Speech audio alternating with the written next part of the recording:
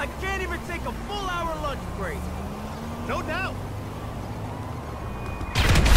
Oh, shit, man. Someone blew up.